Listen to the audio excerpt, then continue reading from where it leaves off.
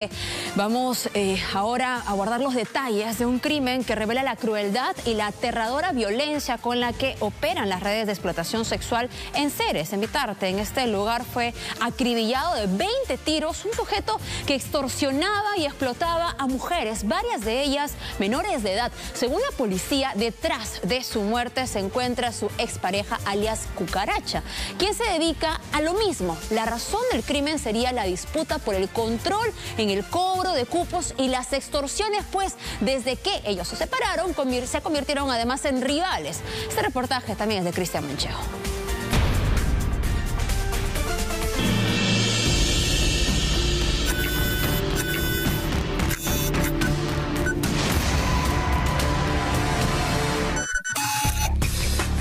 Es la urbanización Ceres de Vitarte polígono disputado por mafias de prostitución. Hasta enero de 2020, el monopolio era de Toño y su esposa La Cucaracha. Ambos fueron detenidos en un mega operativo, pero solo Toño quedó recluido. una pareja de esposos que han sido capturados tenían explotando a su propia hija de 17 años la cucaracha se quedó con la hegemonía de la zona y se enamoró de un joven venezolano del clan de los gallegos. O sea, nosotros somos locos, hemos encontrado este, la pistola por gusto. Ah, no te pregunto yo. Pregúntele ¿Ah? porque le estoy diciendo, le estoy diciendo, yo, no le puedo decir nada, ¿no?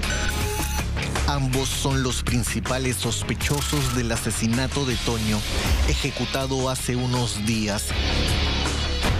A Toño le descerrajaron en el vientre, tórax y cabeza 20 proyectiles calibre 9 milímetros.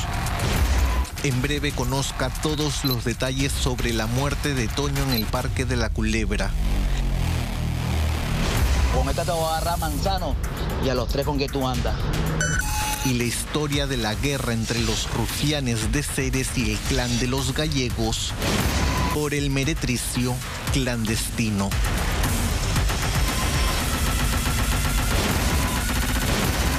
Y se te ha encontrado un arma de fuego. Te estoy haciendo una pregunta clara y concisa.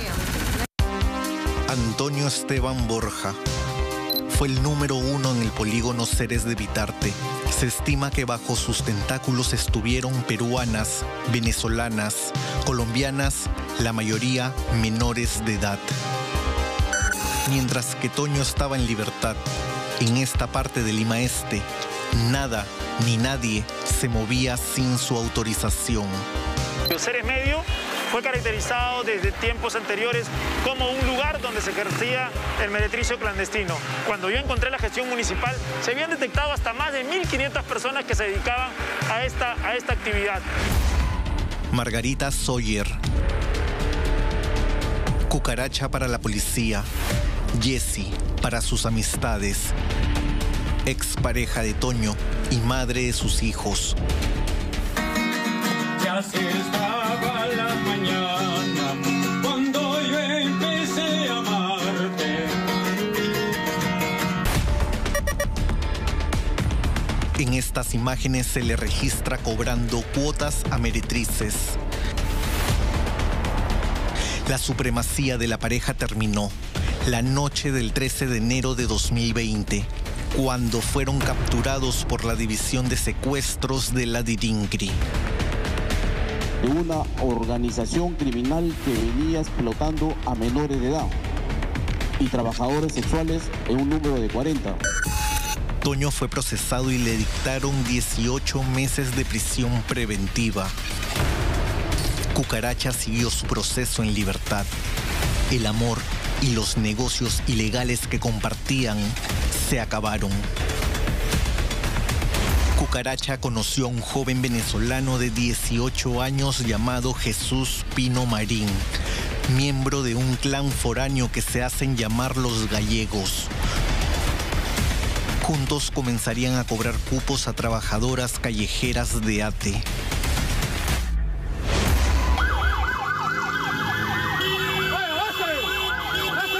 El 29 de julio en San Juan de Miraflores. Policías del Escuadrón Motorizado de Operaciones Especiales intervinieron una mototaxi sospechosa. A la señal de alto se dieron a la fuga. Los agentes luego de una tenaz persecución detuvieron a Cucaracha, su nueva pareja y su suegro.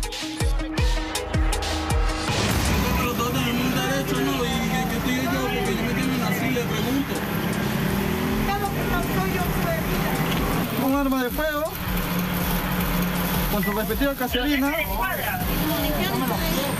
Sus respectivas municiones, ¿ya? ¿Cuál es tu nombre, fuerte? Pino Marchán. ¿Cuál es tu nombre? José Pino Marchán, varón. Repite tu nombre. José Pino Marchán. Nombre completo, señora.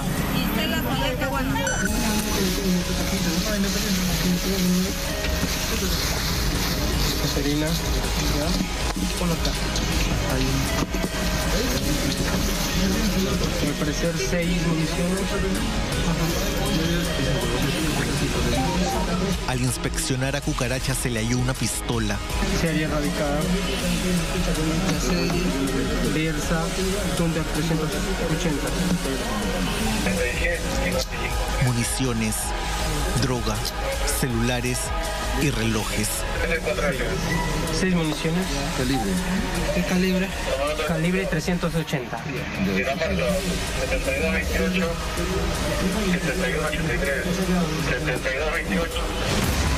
A Cucaracha se le abrió investigación por tenencia ilegal de arma, receptación, tráfico ilícito de drogas, pero otra vez continuó su proceso en libertad.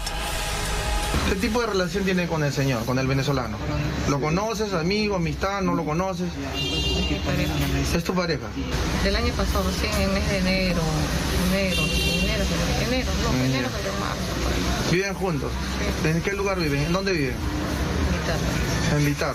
¿Qué iban a hacer con el arma de fuego? ¿Cuál arma de fuego? ¿Qué? ¿Cómo, cómo que con el arma de fuego? Lo que le hemos encontrado, pues. Mano, ajá, pero yo casi ¿Ah? tengo arma de fuego. Señor, te voy a volver a preguntar. ¿Qué iban a hacer con el arma de fuego? Yo no tengo pistola, hombre. Yo quiero pistola y qué pensaba. No, le estoy preguntando a tu pareja, por tu pareja. ¿Cuál pareja mía? Mi pareja no tenía ningún arma de fuego. Yo una delincuente, bueno, era como una delincuente. O sea, nosotros somos locos, hemos encontrado No, este, la pistola por gusto. Ah, no ella, te pregunto sé. yo. Pregúntele a ella, ¿Ah? porque le estoy diciendo, le estoy diciendo. Yo, yo no le puedo decir nada ahora. Nosotros, el Escuadrón Verde, no somos locos, ¿ya? Se ha grabado cuando se te ha hecho la, el registro y se te ha encontrado un arma de fuego. ¿Qué tienes que decir a eso? ¿Ah? Te estoy haciendo una pregunta clara y concisa, que no es tuyo. Y ahí entonces, ¿por qué se ha encontrado el arma de fuego en tu poder? no es mío. ¿Ah? Te estoy preguntando, ¿por qué se ha encontrado el arma de fuego en tu poder? ¿De quién es el arma? ¿Qué procedencia tiene ese arma? ¿Con qué finalidad lo tiene? En agosto, Toño salió por exceso de carcelería y buscó la manera de volver a cobrar cupos en Ceres, zona rosa de Ate, donde ahora dominan los gallegos, con Cucaracha y su pareja Jesús Pino a la cabeza. viven extorsionándose a través de amenazas para que se desplacen de los lugares donde ellos ocupan para ejercer sus actividades ilícitas. Por eso es el término de supremacía, de hegemonía. Son organizaciones criminales que también quieren penetrar a estos grupos y terminan pues asesinándose entre ellos. Dos días antes de su muerte, Toño y el venezolano discutieron por teléfono y se amenazaron. Te voy a dar con esta. Con esta te voy a agarrar manzano y a los tres con que tú andas. La nueva conviviente de Toño narró a la policía que el finado salió de su casa aquella noche advirtiéndole que, si algo le pasa, la responsable sería la madre de sus hijos. El primero de septiembre, Toño y Cucaracha se volvieron a contactar. Esta vez Cucaracha le pidió que se vieran para limar asperezas. ¿Cuál sería el motivo que hayan quitado la vida a su pareja Antonio Víctor Esteban Borja y qué personas serían? Por el cobro de cupos a las prostitutas de seres medios y responsabilizo a Jessica de la muerte a mi pareja, porque ella fue quien lo llamó para encontrarse donde lo matan. Toño y Cucaracha se encontraron en el parque conocido como La Culebra para supuestamente dialogar. Pero el proxeneta fue emboscado por dos sicarios foráneos quienes bajaron de una mototaxi y le dispararon 20 veces. Que es la pugna, es la supremacía de mantener ciertos espacios donde reúnen a personas, tanto nacionales como extranjeros, para someterlas en bares y otros lugares de diversión a la trata de personas. Y cuando aparece otro ciudadano, tanto nacional como extranjero, que quiere dominar este negocio, se producen este tipo de atentados. Cucaracha desapareció de la escena del crimen y es para el ojo policial la principal sospechosa del atentado. La nueva pareja, el nuevo entorno de una de las parejas de la víctima, definitivamente pues es una línea de acción del móvil de los hechos que la Policía Nacional del Perú ya viene realizando, ya viene acopiando las evidencias técnicas con la participación del Ministerio Público y ténganlo usted por seguro, señor periodista, que nosotros, nosotros, como siempre lo hace la División de Investigación de Homicidios, articuladamente con todas sus unidades de inteligencia, va a identificar y va a capturar a los responsables de este execrable hecho de sangre. ¿Qué hacía libre por exceso de carcelería un proxeneta acusado de explotar sexualmente a su propia hija? ¿Y por qué no fueron recluidos en un penal la cucaracha y su pareja cuando fueron detenidos en flagrancia delictiva?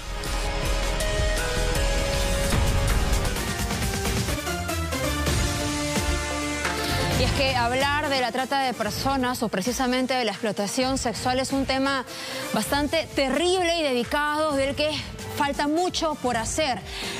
Fíjense que casi el 90% de las víctimas, según cifras del INEI del año 2020, serían mujeres. Más del 80% habrían conocido a la persona que los trasladó a este mundo terrible. El 15% incluso serían familiares. Una situación sin duda que expone gravemente también a las mujeres y claro que llama la atención ver que una de las líderes también una señora que incluso compite con su ex pareja. Una situación lamentable que trunca el destino, la vida, el futuro de muchas niñas y adolescentes. Principalmente el 90% son menores de 29 años. Vamos ahora a cambiar de tema y hablar de algo también que es preocupante constantemente. Les pedimos que presten atención al siguiente reportaje porque todo